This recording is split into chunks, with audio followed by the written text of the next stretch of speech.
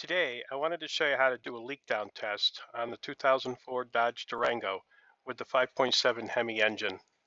The radiator is being pressurized too much by something, and I'm going to show you how you can test to see where the problem is coming from.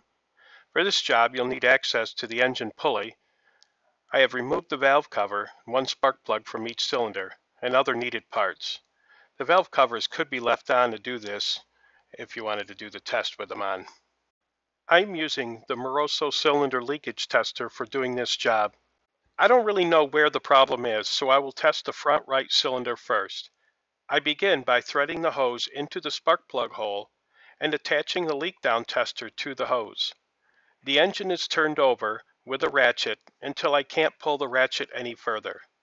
This will be top dead center of the compression stroke, and the gauge should read a low amount of leakage.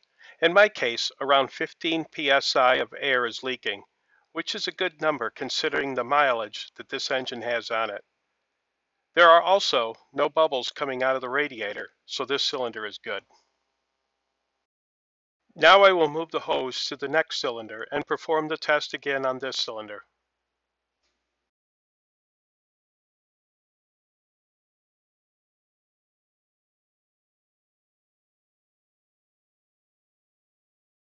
I turn the engine over again until I can't turn it anymore and notice the water and bubbles coming out of the radiator. I have found my problem. I will do this to all eight cylinders to look for other problems. Interesting enough, the leak down tester shows about 15% leakage, which is really good for a high mileage engine like this one.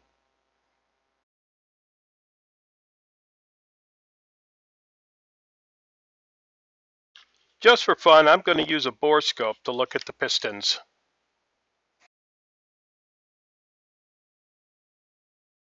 Notice the carbon buildup on top of the piston. This is a normal byproduct of burning fuel. This piston looks normal. Now, let's look at the cylinder that's leaking. Notice the shiny piston crown. The carbon has been removed by leaking coolant, which cleaned the top of the piston. This confirms my leak down test as the problem area.